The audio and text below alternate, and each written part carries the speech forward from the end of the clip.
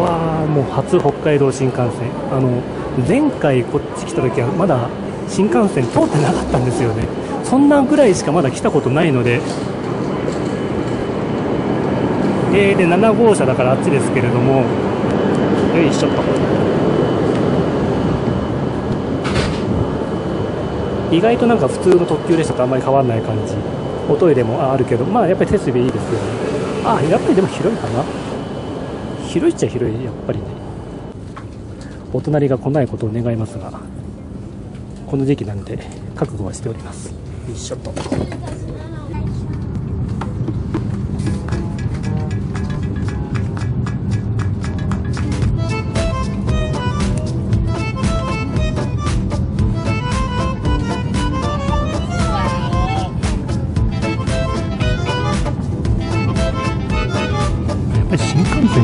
かですよね。中は。外はともかく中は静かですよね。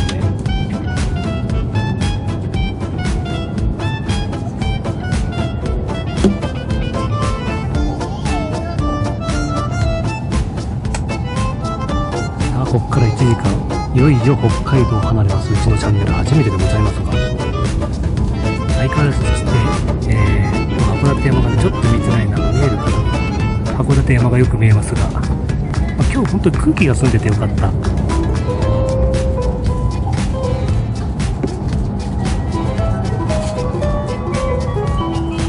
うやっぱり本当お盆なんて車内本当混んでますけどね。キッズもいっぱい乗ってますけれども家族連れが多いかなという感じ。ただねラッキーなことお隣がいないんですよ今日は。すごくラッキーなんですけど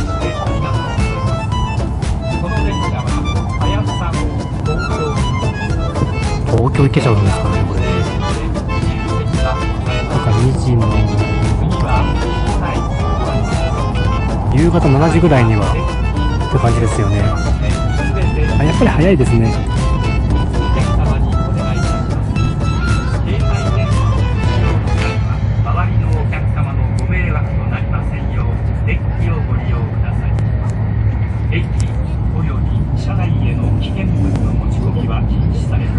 函館山がこんな感じでで今度ぐーっとカーブしてこうこうこう行っていくんで函館山今度こっち側に移ると思うんですけれどもこう行ってで、えーそれからこう行って発生関東に潜ってっていう感じなんで。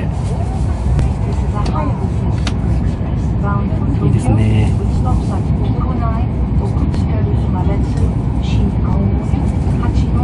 いやすごいです。なんかあの新幹線本当めったに乗るの本当ワクワクしますね。であのなんか新幹線いいなと思ったのがあの普通グリーン車しかないようなこの読書灯がここについてるのはすごくありがたいですねこれが。でこれつけて実はこういうの読んでたんですけれどもこれも JR 東日本仕様になってて宮城は漫画アニメの舞台装置だなんていう風になってますけれども。ちょっとそれも見てみて。まあちょっとこれからこっち行くんでこれは持って帰りましょうかね。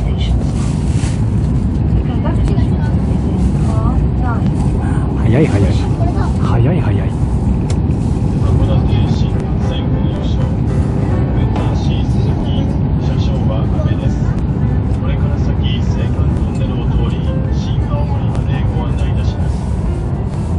あーすごいです。もうこういう時だけ子供みたいに。なんかさっきからトンネルトンネルトンネルって感じなんですけれどもあのまだあの機構内にもついてないんですけれどね。あのまあこれ仕方ないんですよね新幹線って、ね、早く目的地に届けるためであってあの別にあの途中の風景をゆっくり楽しむそういう乗り物じゃないんで本当は。本当は。だからまあ風景楽しみたかったらなんかローカル線乗れという感じなんですが。まあ、私は別にトンネルマニアだから結構丸いよねトンネルが。なんかすごいちょっと見づらいかもわかんないんですけども。私の目からするとあのトンネルがすごくなんていうかこここここここういう壁してるなってそういう感じなんですよ。へえ青函トンネルもなんか馬のひづめ型みたいなこんこんなこんな感じしてるんですよね。もうちょっと広いんですけれども。それこそ10年ぐらい前のだったかな。吉岡海底駅に降りたことあるんですよ。でその時に、まあ本当ちょっとずっと前の記憶なんですけど写真がちらちらとあの本校を撮ったのもあるんであの本校で列車走ってるところ。であの頃はなんかスーパー白鳥だかじゃなかったなんだっけなんかあのそんなような列車だったんですけれども。で、まあ、ちょうどドラえもん海底列車とかやってたのとあとなんだっけな。あそうそうあのドラえもんの声優がちょうど代替わりするちょうどそのタイミングだったんです。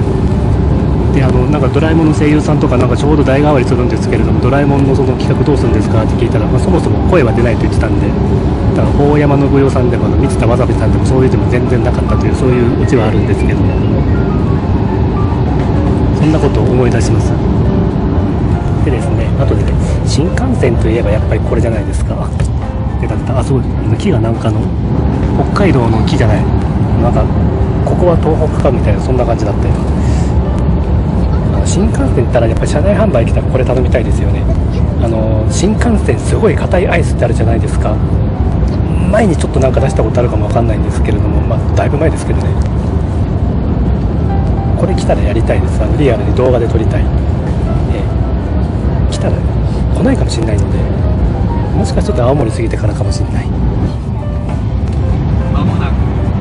えもう来ない？早っ。ちょっと待ってちょっと待って。木古内の次は津軽今別10分で着いちゃった。すごい。ええあまあでもそうあの青函トンネルが34分頃というふうにさっきあ言ってたんですよ。3時04分15時04分頃。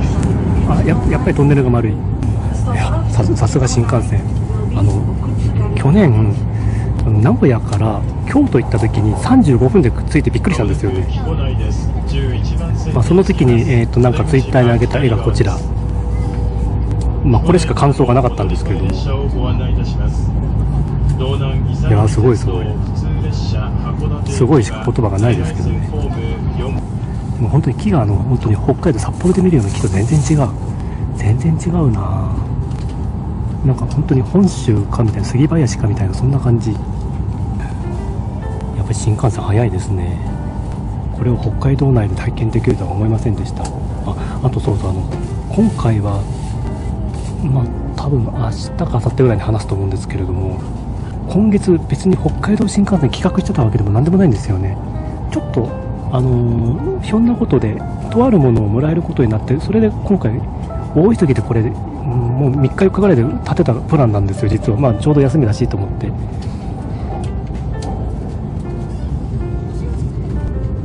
なのでまあそれはまあ後で話すとしてもう木古内に着いちゃった。早いだって 10, 10, 10分ちょいまあ、新幹線ってあの200何十キロで走ってるんで早くあの遅くても。どんどんブレーキがかけるのは分かるんですけれども。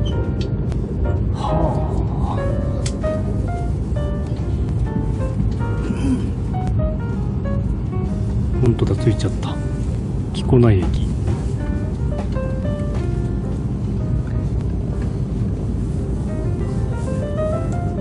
この真ん中の線路は何に使うんだろう？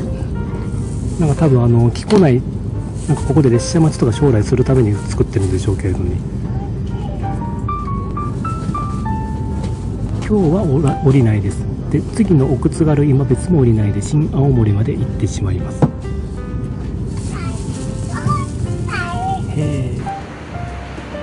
回もご視聴いただきまして誠にありがとうございます、えーチャンネル登録そしていいねボタンぜひぜひよろしくお願いいたします。ああとあの太郎の雑学カフェこちらの方もあのやってますので見ていただければと思います。